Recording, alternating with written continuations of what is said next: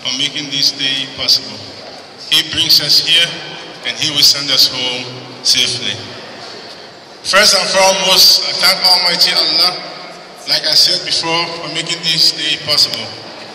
Secondly, greetings in absentia to the President of Ghana, His Excellency, Mr. John, Honorable John Muhammad Abdulrahman Muhammad.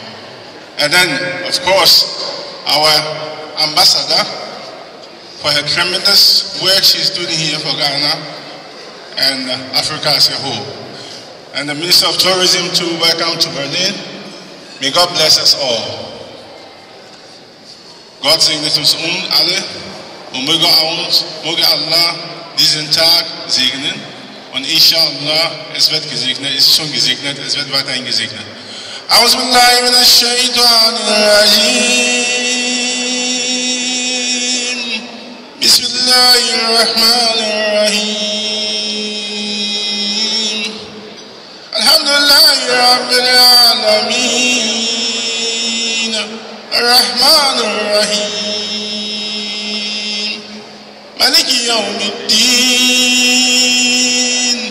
إياك نعبد وإياك نستعين. اهدنا الصراط المستقيم.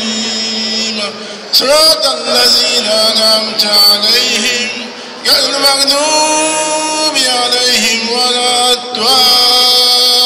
الضالين Everybody, Amen. The Prophet Muhammad sallallahu alaihi wasallam said, after prayers we say Amin. Amin means may Allah accept our prayers. May Allah accept our prayers.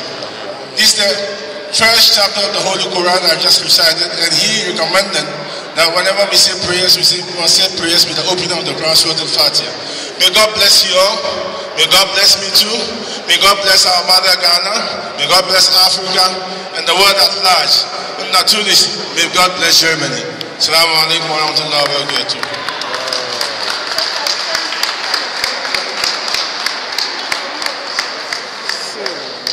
Now I see the trick. Huh? You have to raise it high. Thank you. Please, the tables service is still going on. Do well to approach the table and help yourself to a good selection of Ghanaian.